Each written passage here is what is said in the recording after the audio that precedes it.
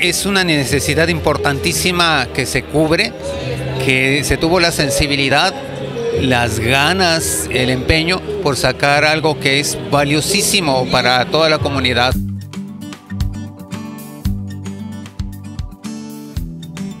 Para darle a las familias paseñas un espacio innovador para el aprendizaje y gusto por las artes para niños, jóvenes y adultos, el Ayuntamiento de La Paz el Consejo Nacional para la Cultura y las Artes y el Fideicomiso de Obras de Infraestructura Social, FOIS, entregan a los paseños la más grande obra de los últimos 28 años en materia de cultura, única en su tipo en todo el estado, el Centro Municipal de las Artes de La Paz.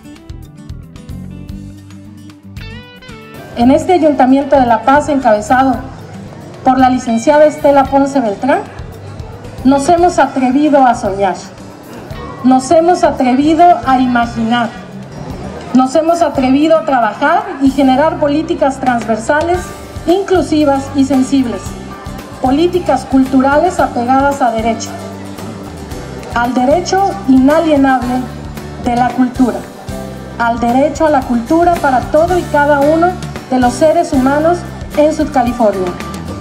En su primera etapa, contará con salones de música, teatro, danza y pintura, donde se impartirán talleres y se organizarán exposiciones.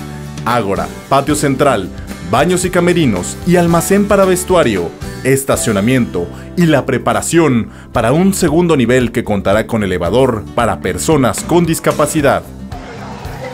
Y yo creo firmemente que lo que genera mejores ciudadanos y ciudadanas es el acercarle a todos los niveles de personas, a todas las zonas, a todas las comunidades de los pueblos, es acercar el deporte y la cultura. Pero quiero pedirles que no se les olvide este día, este día en el que vinieron a ser testigos de honor al crecimiento de una nueva etapa de la cultura para La Paz y para Baja California Sur. Gracias a las gestiones municipales, el Centro Municipal de las Artes se levantó en un predio de 2.300 metros cuadrados en la calle del Cobre, esquina con hierro, de la colonia El Dorado de La Paz, con una inversión de más de 7 millones de pesos. Pues yo espero que de muchos artistas y que pues a todo el mundo le guste el arte, así que se va a llenar. Yo creo que principalmente como un agradecimiento por el apoyo, por darnos el espacio para mostrar nuestro trabajo. Una sola palabra, muchas gracias. Bueno, dos, muchas gracias en nombre de todos los bailarines y los artistas que están siendo beneficiados y que estamos sumamente contentos. Yo todavía no lo puedo creer, lo veo y no lo creo. Es algo maravilloso. Estamos de fiesta.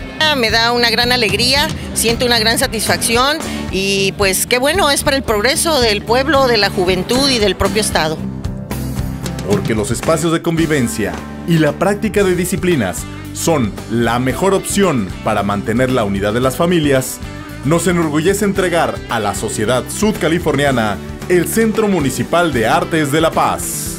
Lo que consiguieron las autoridades municipales la autoridad municipal, es el gran objetivo del arte, hacer comunidad, hacer colegio, hacer identidad desde la pluralidad. Y de verdad, Presidenta, creo que, creo que no está por venir, está sucediendo, ¿no? Felicidades.